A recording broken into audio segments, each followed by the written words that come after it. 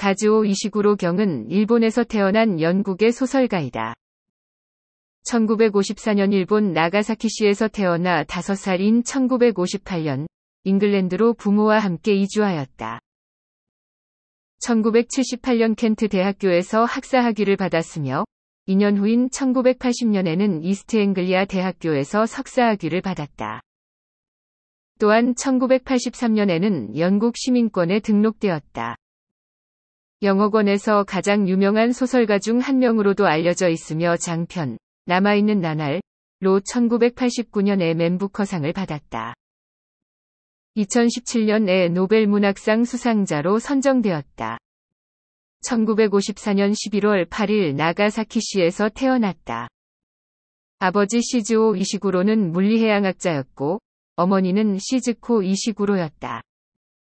1960년 가즈오는 두 여동생과 함께 가족을 따라 영국 서리주 길퍼드로 이민을 갔고 아버지는 영국 국립해양학센터에서 연구 생활을 시작했다. 가즈오는 스토턴 초등학교와 서리주 워킹카운티 학교에 진학하였다.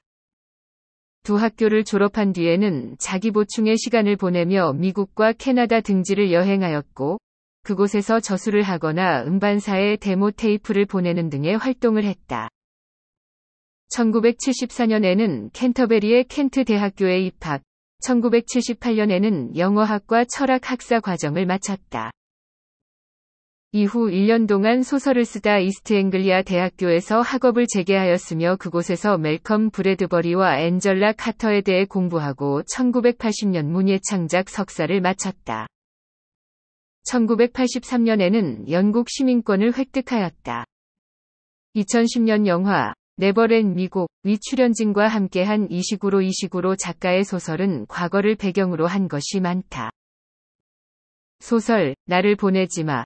는 공상과학적인 면모의 미래적인 분위기를 띠고 있지만 80년대와 90년대를 배경으로 하고 있으며 이 때문에 마치 현실 세계와 비슷한 평행 세계를 배경으로 한 것 같은 느낌이다. 네 번째 작품 위로받지 못한 사람들 은 중앙유럽의 어느 이름 모를 도시를 배경으로 두고 있으며 남아있는 나날 은 제2차 세계대전이 벌어지던 시기 어느 영국 귀족의 커다란 시골 저택을 무대로 삼고 있다. 부유하는 세상의 화가 는 1945년 패전 이후 재건을 겪고 있는 일본의 어느 도시를 무대로 삼았다.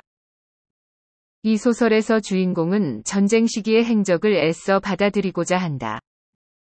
또한 주인공이 과거 일본의 그릇된 외교 정책을 옹호했다는 점으로 신세대로부터 비난받고 있음을 깨닫고 또 다른 한편으로는 자기 손자로 대표되는 근대 세계의 이상과 마주할 수밖에 없는 현실에 처한다. 그의 작품들은 대부분 민음사에서 김남주 번역가의 번역으로 출간되었다. 시청해주셔서 감사합니다.